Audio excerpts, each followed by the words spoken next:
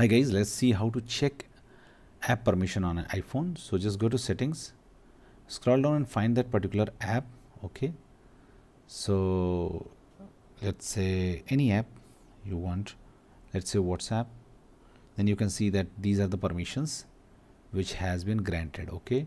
And which are turned on. You can turn them off or turn them on using this settings page of that app. Also make sure that all the permissions listed here are only those permissions which have been asked in past okay?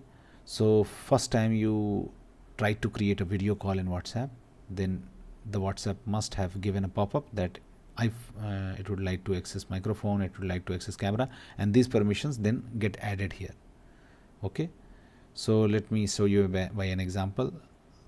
Let's find an app okay? Let's find let's say messenger app okay or any app let's say instagram okay.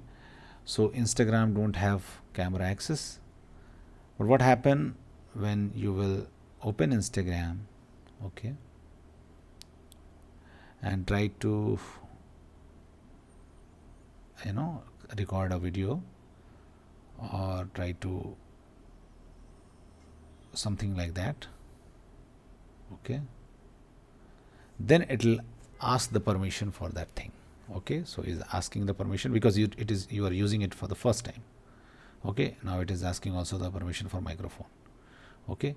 Now when you will go there and now open instagram see microphone and camera access are now listed there. So this is how you can check app permissions but make sure that it keep on adding permissions on the permissions page of an app once you start using the particular feature of that app. Thanks for watching guys. Please do like the video to support us.